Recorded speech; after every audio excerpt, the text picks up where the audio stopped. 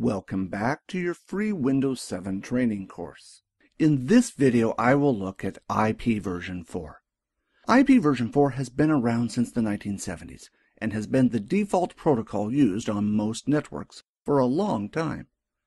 IP version 6 has since been developed and is being used, but from the estimates I have seen, it may be about another 10 years before the majority of the internet is running IP version 6. What this means is that you need to have a good understanding of both protocols for a long time to come. An IP version 4 address is made up of 4 bytes. 8 bits is referred to as a byte, but in IP version 4, 8 bits can also be referred to as an octet. If I take a standard IP version 4 address, it is common for it to be divided up into four parts. These four parts can be converted into binary. If you are not sure how to convert numbers to binary, see another video on converting decimals to binary. Having a 32-bit address may seem like a lot of addresses, but if you consider nowadays just about everything is being connected to the internet, for example, cell phones, vending machines, and tablet PCs. This is a lot of devices that require an IP address. Depending on which study you look at, in 2007 there were over 2 billion PCs used worldwide. Given that there is 4 billion addresses, you may think that there is some room left to expand. But of these addresses, as you will soon learn, not all are usable. This occurs either by design or when the addresses are divided up in a process called subnetting. If you look at the IP version 4 address space as a piece of pie, out of this pie, 6% is reserved. Maybe one day these IP addresses may be usable, but at present with the design of IP version 4, they are not. Next, there are multicast addresses. These addresses take up another 6%. Multicast addresses perform an important role in IP networks. Lastly, you have 1% that is used for loopback and private addresses. This means that 87% of the address space can be allocated and is routable on the Internet. Or about 13% is not available for public use. This may not seem like a lot, but this translates to just over 570 million IP addresses. On the 2nd of February 2011, IANA allocated the last block of public IP version 4 addresses. This may sound scary, but the reality is that these addresses are allocated to ISPs or countries and have not been reallocated as yet. Depending on how fast they use their allocated addresses, it could take as little as months or even years before they run out. In the future, you may have to shop around to get a public IP version 4 address as they start running out. You may even have to share it with someone else. So let's have a close look at how IP addresses are allocated. First, I will start with private addresses. Private addresses are IP addresses that are not routable on the Internet. This means you are free to allocate these addresses any way you want. Companies commonly use these IP addresses on their internal network. The first type of these addresses start with a 10. This gives you just over 16 million hosts on the one network. The second address starts with 172.16 and ending with 172.31, giving you just over 1 million hosts. The last private address starts with 192.168 and gives you just over 65,000 hosts.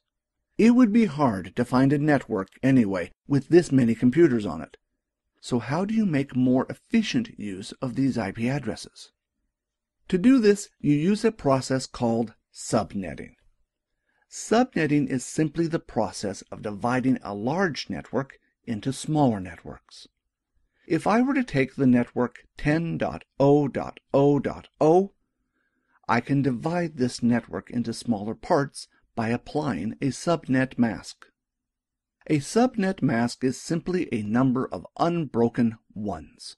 Given a subnet mask of 8 bits, means out of the 32 bits of an IP version 4 subnet mask, the first 8 are set to 1. This can be shown as slash 8 after the IP address, or the subnet mask as 4 octets, in this case 255.0.0.0. If you take the private network 10.0.0.0 with the subnet mask of 8 bits, this will give you over 16 million hosts.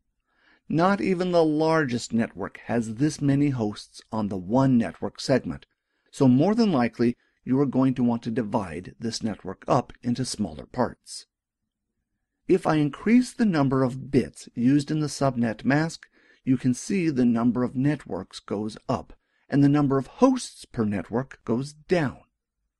When deciding on which subnet mask to use, it is a case of simply deciding on how many networks you want and how many hosts you want per network. When thinking about subnetting, it is easy to conceptualize when you consider a piece of pie.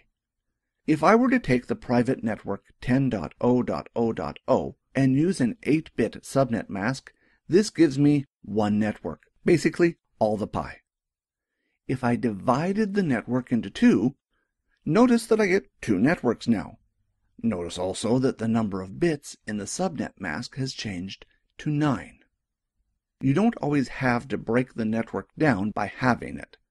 You could, for example, divide half the network into four pieces. Each time I divide the network down, it also changes the number of IP addresses that are available in that network. Getting a little bit more creative, I could divide one segment up into three parts. You can see the parts won't be the same size as binary works off multiples of 2.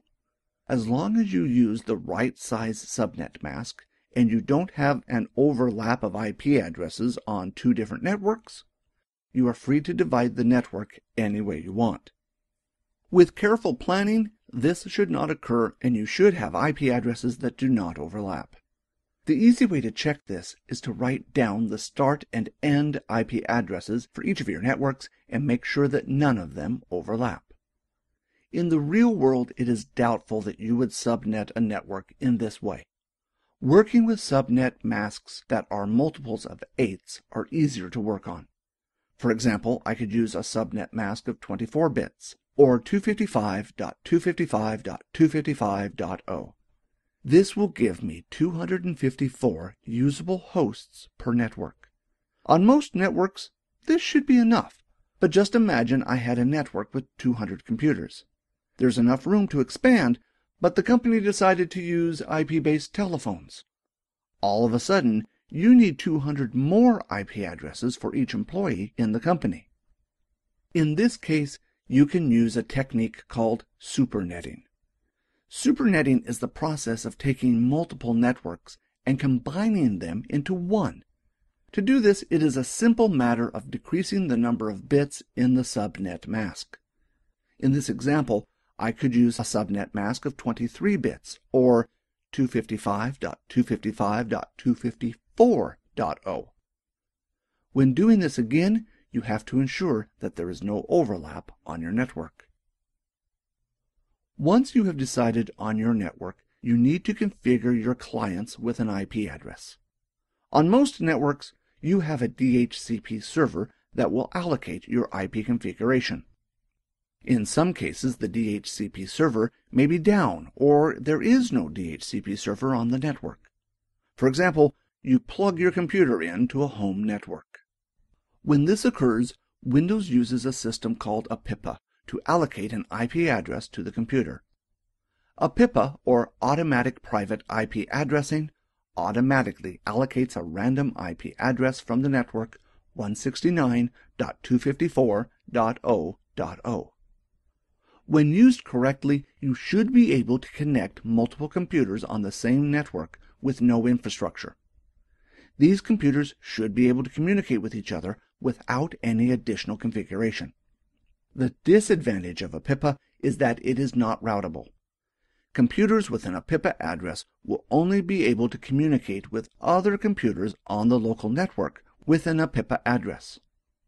To demonstrate APIPA a little better, I will switch to my Windows 7 computer. I have switched off the DHCP server on this network, forcing this computer to get an APIPA address instead. If I now open a command prompt from the Start menu and run the command ipconfig, you can see that this computer has been given an APIPA address. APIPA addresses will always start with 169.254. Notice that there is no default gateway. APIPA addresses are not routable on the Internet and will only work on the local network with other APIPA addresses. When you are troubleshooting network problems and you notice that the computer is getting an APIPA address rather than an IP address from a DHCP server, this generally indicates that there is a physical problem with the network. I would first check the cables and make sure they are all in correctly.